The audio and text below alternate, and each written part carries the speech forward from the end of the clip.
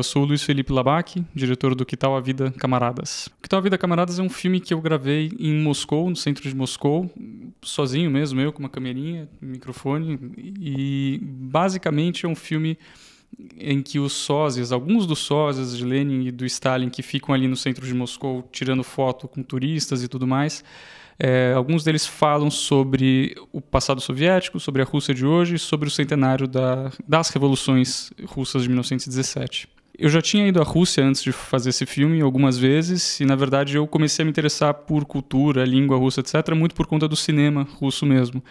E uh, eu já tinha ido na, numa vez anterior que eu tinha ido a Moscou, eu já tinha me interessado, já tinha visto essas figuras, esses sósias do Lenin e do Stalin que ficam ali no centro, já tinha achado uma coisa curiosa, porque enfim, acho que toda cidade tem os seus potenciais Mickey Mouse, Mickey Mouses, essas coisas.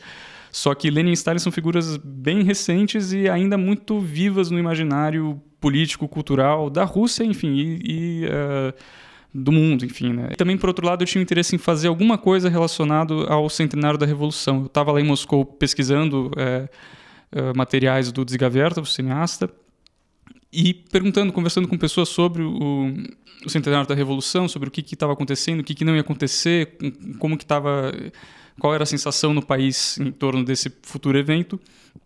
E me veio a ideia de, na verdade, de olhar para essas figuras que são muito turísticas, que são muito, enfim, são é o clichê do clichê do que seria a União Soviética hoje, e tentar olhar para elas de um jeito um pouco diferente e colocar elas numa situação um pouco diferente. Porque as pessoas se aproximam desses sósias para, na verdade, tirar foto, bater um papo rápido, mas a gente não pergunta para elas, e aí, você está vestido de Lenin, mas quem foi Lenin? Você está vestido de Stalin, mas quem foi Stalin? Como que é? Como que você está vendo isso?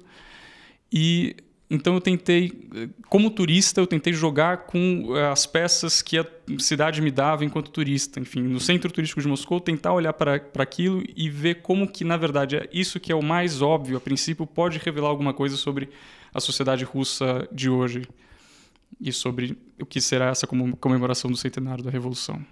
É, e aí eu mesmo entrevistei eles, o que também era uma coisa inusitada para eles, porque, enfim, turistas chegam normalmente, mas eu me apresentava como um cineasta brasileiro, e, uh, falo, falo, mas falando em russo, que para eles também já era uma coisa um pouco esquisita, e claro que, enfim, aí uh, as reações ao fato de ser brasileiro eram várias. Tanto um dos Lenins sabia exatamente, isso foi em abril do ano passado, sabia exatamente que ia acontecer o processo de impeachment da Dilma, e o outro perguntou se o Brasil ficava ali entre Espanha e Portugal.